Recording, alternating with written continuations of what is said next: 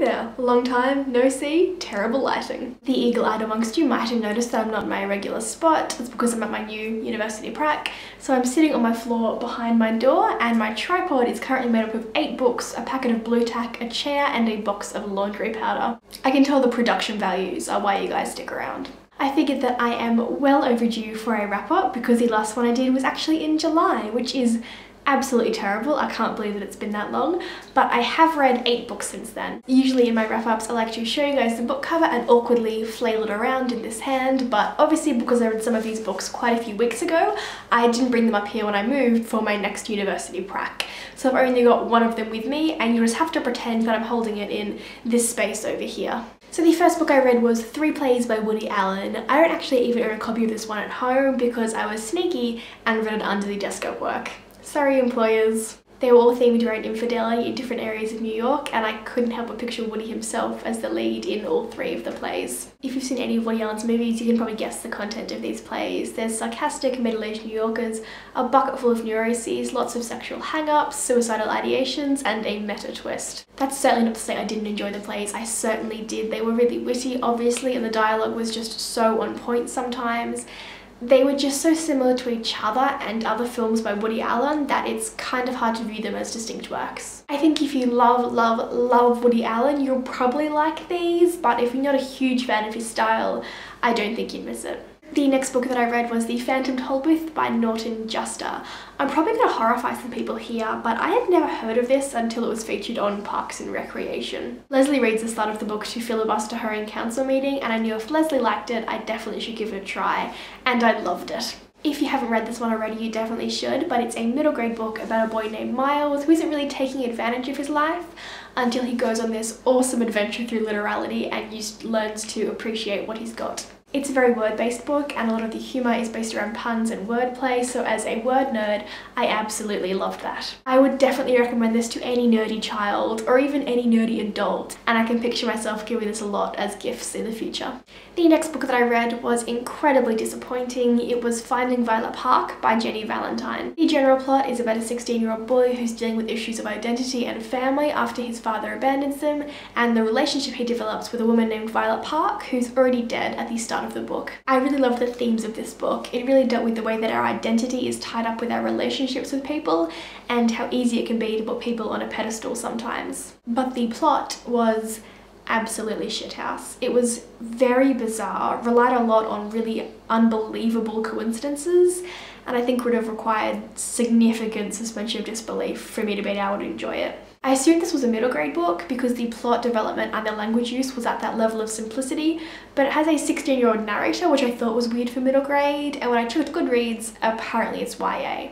Yeah, no. As a middle grade book, I thought it was clumsily handled but important because of the themes that it dealt with, but as a YA book, this was thoroughly disappointing. The next book that I read was Boy Overboard by Morris Gleitzman.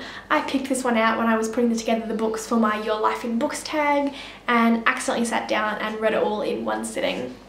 Whoops. I adore this book and I've read it dozens of times in the past. I think it has a lot of heart and can be a really useful tool to use with younger people to help communicate that sense of empathy for asylum seekers, which I think is something our society could do with a whole lot more of. The next book that I read is one that's got a lot of traction in booktube lately and that's Attachments by Rainbow Rowell. This is adult fiction, not YA contemporary, so in a way it's quite different to Eleanor and Park, but it was certainly just as interesting. It's about this guy who works in the IT department of a local newspaper who's kind of a loser, and part of his job is to read everyone's emails to check they're complying with company rules. He slowly falls in love with one of his co-workers through her emails, even though he's never met her in person. There are definitely some more adult themes in this book when compared with Eleanor and Park, but it was absolutely hilarious and very touching at times. What I think makes Rainbow Rowell's book so special is that she writes characters with genuine actual flaws, which doesn't sound like much, but I think in modern fiction that's something that we're lacking. Writers tend to try too hard to make their characters seem relatable and likable, and I think in real life, people aren't like that. Everyone, including you and including me, have very serious flaws which can make us unlikable. And having an author actually represent those human flaws in such a complex and thoughtful way is absolutely wonderful. I can't wait to read Fangirl, which was just released, and I hope Rainbow Rowell never stops writing. Book number six is another one which has quite a lot of hype in the booktube community, and that's Why We Broke Up by Daniel Handler. I've been wanting to read this book for months and months and months and I finally decided to finish it and it was wonderful. I had quite a similar reaction to this book as I did to Eleanor and Park by the above wonderful Rainbow Rowell. Again, Why We Broke Up is about two deeply flawed characters and the way their relationship comes together and then pretty quickly falls apart. Ed is selfish and arrogant and Min is pretentious and obsessed with self-image and they're both amazingly frustrating characters. They are completely unlikable because I think a lot of us see a little or a lot of ourselves in Ed or in Min or in both of them. And that's what makes the story so important. It feels like reality, it doesn't feel like fiction. Of course, the ending absolutely shattered my heart. I wasn't completely into Daniel Handler's writing style, but the last, say, 50 pages or so were absolutely perfect. It's not a perfect work, but I think it's pretty damn close if you're willing to look past the expectation of likable characters and enjoy the book as an examination of human faults. Book number seven is Stepford Wives by Ira Levin, and I do actually have that book with me, but I can't show you it because it's currently right there under the camera. The Stepford Wives is about Joanna who moves to the too perfect town of Stepford with her husband and two children, and is kind of disturbed by how dutiful and diligent and domestic all the women of Stepford seem to be.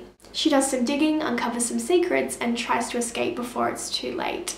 I've never seen the Stepford Wives movie, but I think even without seeing the movie, everyone has a pretty good idea of what a Stepford wife is. Despite already knowing the story, this book really made an impact on me. It's in the early 60s, right in the heart of the women's liberation movement, and I think it probably would have had more of an impact in that time period, but even today this story really shook me to the core. The book obviously has an incredibly strong feminist message, but I think in a broader sense, the moral of the story is to live your life for yourself and to resist the efforts of other people into changing you into who they think you should be. I was still thinking about this book days after I read it. It might have a simple and well-worn message, but damn, it still packs a punch. And the eighth book that I've read since my last wrap up was The Ocean at the End of the Lane by Neil Gaiman. I have an Audible subscription and the audiobook for this book was only like $13 on there or something, which is super cheap for an audiobook but I've limited myself to getting one book a month so I had to wait for my credits to roll around before I could get it. I purposefully avoided all hints about the plot of this book. I didn't even know if it was fantasy or contemporary, so everything has just been such a wonderful surprise. It's not tremendously plot heavy, most of the focus of the book is on character development and childhood and oh, the epilogue just broke my heart but Neil Gaiman just words everything so perfectly. He writes in a way that just cuts to the perfect truth of the matter and brings out the beauty and the worth in the everyday and I absolutely adore it. If you haven't read any Neil Gaiman before, I would probably not recommend starting with this one just because it is quite slow on the plot. I'd probably recommend you read Coraline first and then definitely come back to this one because I think it's well worth your time. So those are the eight books that I've read since my last wrap up. If you have any questions about them, please don't hesitate to let me know down below. And if you have any suggestions for videos that I can do without having access to any of my books, that would also be helpful because I'm kind of stuck up here. Thanks so much for watching guys and I'll see you next time. Bye. The Stepford Wives is about Joanna who moves to the picturesque moves to the picturesque town picturesque moves to the picturesque town picturesque picturesque picturesque picturesque. No, pretty is a picture.